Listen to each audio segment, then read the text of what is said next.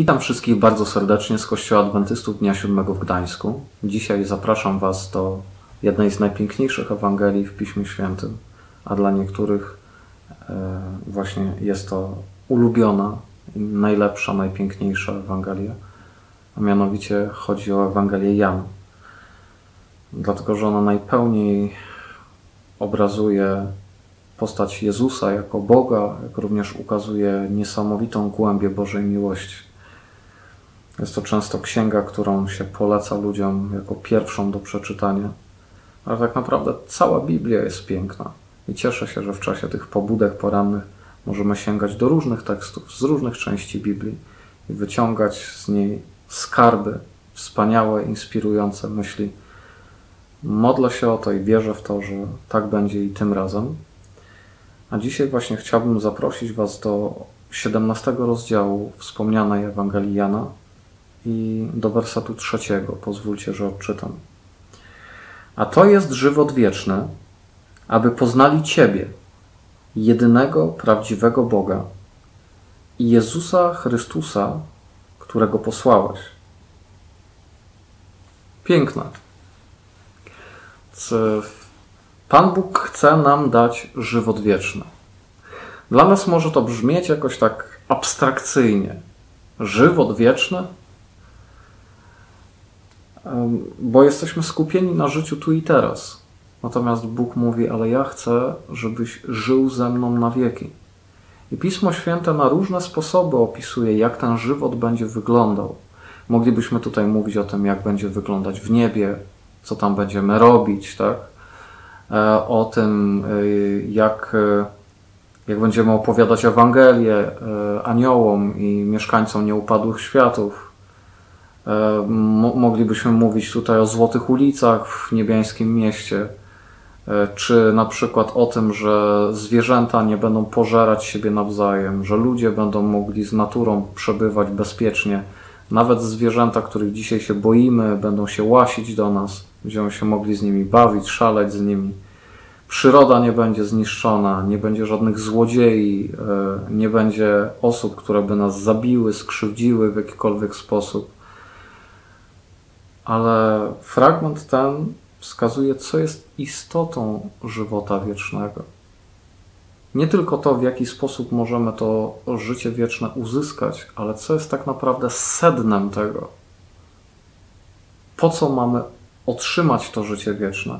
Tu jest powiedziane, aby poznać prawdziwego Boga i posłanego przez Niego Chrystusa Jezusa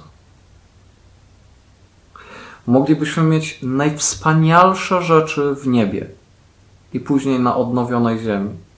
Najnowsze gadżety, zdobycze techniki. Moglibyśmy każdą gwiazdę oglądać w kosmosie i znać na pamięć e, nazwy miliardów galaktyk. Moglibyśmy być skumplowani ze wszystkimi aniołami i mieć najlepszy dom w Królestwie Bożym ale bez Chrystusa nie ma to żadnej wartości. Sednem posiadania żywota wiecznego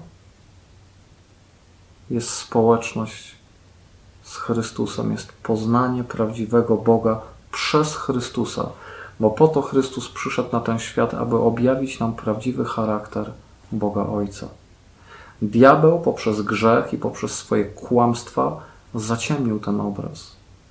Dzisiaj patrzymy na Boga tak jakby w krzywym zwierciadle, a Jezus przyszedł i pokazał, jaki Bóg naprawdę jest. Więc jeżeli nie zakochasz się w Bogu już tutaj i teraz, nie będziesz potrafił cieszyć się życiem wiecznym w Jego niebiańskim królestwie.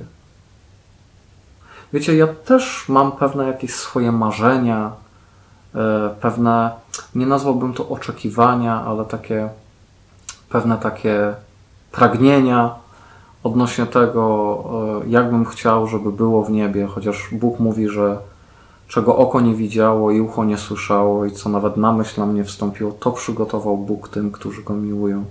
Więc nawet nie jesteśmy w stanie sobie tego wyobrazić. Ale najważniejszy jest Chrystus. Dlatego zastanów się dzisiaj, co stanowi priorytet w Twoim życiu. Zastanów się uczciwie nad swoją hierarchią wartości, którą przyjąłeś. Możesz to sobie nawet narysować na kartce w formie piramidy, jakiegoś wykresu, słupków, czego chcesz. Albo po prostu wypisać od myślników, ale z modlitwą zastanów się, jaka jest Twoja hierarchia wartości. I jeżeli Bóg nie jest na pierwszym miejscu w tym zestawieniu, to jest to poważny błąd i gwarantuję Ci, że gdy On nie jest na pierwszym miejscu, to wtedy nic nie jest na swoim miejscu. Więc jeżeli chcesz się cieszyć życiem tu i teraz, a także uzyskać życie wieczne w Królestwie Bożym, przylgnij sercem do Jezusa. Poznaj Go bliżej. Przekonaj się, jaki jest. Zobacz, że On kocha Ciebie, pomimo tego, że wie o Tobie wszystko. Wie o najdrobniejszych zakamarkach Twojej duszy. Wie o najbardziej plugawych rzeczach z Tobą związanych i najbardziej cudownych, jakie się na Ciebie składają. Wie o Twoich pragnieniach, wie o Twoich smutkach, o Twoich planach, wie o Twoich radościach wie o ukrytych sprawach, których nie mówisz nikomu, z którymi nie dzielisz się z nikim. On to wszystko wie i nadal cię akceptuje i nadal cię kocha. A gdy zbłądzisz, jest gotów ci przebaczyć i przyjąć cię z powrotem. Poznaj go. W tym jest prawdziwe życie, to czesne i wieczne. Na co czekasz? Jeżeli jest coś, co cię wstrzymuje, módl się do Boga, żeby to zabrał. On jest w stanie to zrobić, niezależnie od tego, czy są to Twoje nałogi, czy są to jakieś przywary charakteru, czy cokolwiek innego, jakieś pragnienia, dążenia, plany, cokolwiek to jest. Odrzuć to na rzecz poznania Chrystusa. Jeżeli On będzie najważniejszy, On wszystko poukłada w Twoim życiu i będziesz żył pełnią tego życia, teraz i w niebie, na wieki. Pomódlmy się. Panie Boże ukochany, chcemy Ci bardzo podziękować za ten fragment Pisma Świętego. Za to, że Ty pokazujesz, co powinno być sednem życia każdego człowieka, a zwłaszcza chrześcijanina. Poznanie Ciebie, zbliżenie się do Ciebie, głęboka relacja z Tobą. Daj Panie, abyśmy wszyscy tego zapragnęli. Każda osoba, która dzisiaj tego słucha, łącznie ze mną, Panie, abyśmy wszyscy głęboko, prawdziwie, szczerze zapragnęli najbardziej na świecie tego, żeby być z Tobą. Twoje ręce się powierzamy w drogim imieniu Pana Jezusa, który jest Twoim prawdziwym objawieniem. Amen. Dziękuję Wam bardzo za to, że mogliśmy wspólnie dzisiaj rozważyć ten fragment.